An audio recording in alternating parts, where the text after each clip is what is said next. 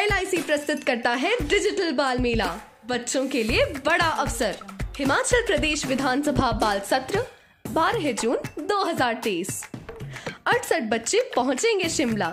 इक्कीस हज़ार का इनाम।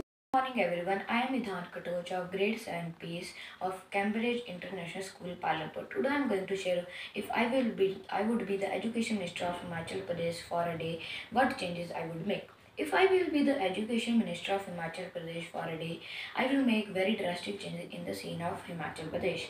In last 20 years, the government hands have been changed, commission have been made, reports have been made and gather all the dust. My main thrust would be given to the primary education in last in last five decades, and uh, till fifty percent fifty percent of our uh, population of Himachal Pradesh is still illiterate.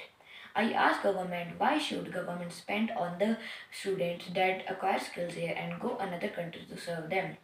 My main point by becoming the education minister is to the enhancing the power of the uh, primary education and uh, acquiring the skills to the remotest areas of Himachal Pradesh. Also, thank you everyone. Have a good day.